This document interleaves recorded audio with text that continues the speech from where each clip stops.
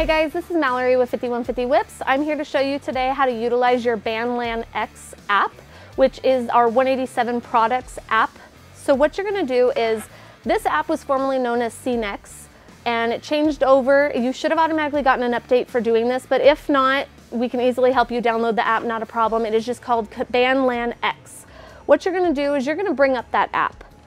Once you bring that app up, it's gonna pop up a bunch of different options for you of channels. The reason for this is, which is a lot different compared to our Bleedum and SceneX before, is you can actually control products separately from each other or all in sync, just like how you were used to with the Bleedum. What you do is, is with the all channels option, everything is gonna be fully in sync with each other, whether that be your rock lights, your whips, halos, fangs, eyebrows, anything of that sort that you have of the 187 products. Or you have two channels that you can actually put things on separate channels to control separately. So if you want your rock lights to do something different from your whips, you can do that. Or they obviously could be all back in sync with each other once you select the all channels option. So what I'm gonna do is show you how to do that today. When you bring up your app, it's gonna show you some options at the top. At the top, it's gonna say channels, scenes, and then it's gonna show you the different channels below. If you click on the channels, it's gonna show all channels, channel one, and channel two. This is where you're gonna start changing everything to either be in sync or you're gonna do them separately from each other. So in this case, we're gonna pretend that our rock lights are on one channel and our whips are on another. What I'm gonna do is, is I wanna control my whips first. I'm gonna select channel one and it's gonna bring up a menu for me. This is only going to control that channel and that channel only. The other channel will not be affected whatsoever. So what you would do is you're gonna go on here and this is where you're gonna start selecting either functions or solid colors. Off to the right hand side, you're gonna see a top arrow and a bottom arrow. This is where you're gonna start scrolling through to go through functions to figure out which uh, function you're gonna wanna do, whether that be red, white, and blue, whether it be the party mode option, whether you're gonna utilize it with music playing in the background. So we have 40 channels to choose from. And this is where you can scroll through and find through those 40 channels what scenes that you prefer to run on your products. Once you get to channel 25 and up, those are going to have music notes in the background. These are going to be the functions that you can utilize with music playing for them to flash to the beat, or obviously below 25.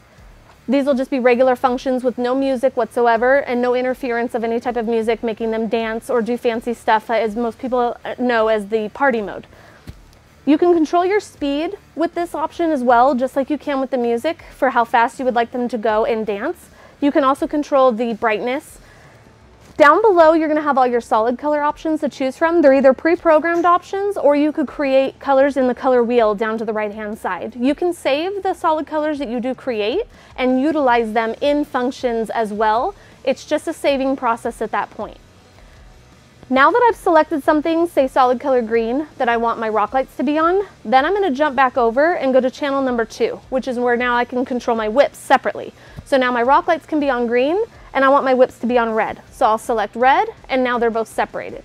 Now, a lot of people like to utilize this function with things being controlled separately for the fact of, you know, going to certain areas on the highways, things like that. You're not allowed to have rock lights running, but you obviously want your whips running. This is where you can either shut products off, in this case the rock lights, or you can leave everything on but control them separately so that you're within certain law standards of certain colors that you can or cannot run.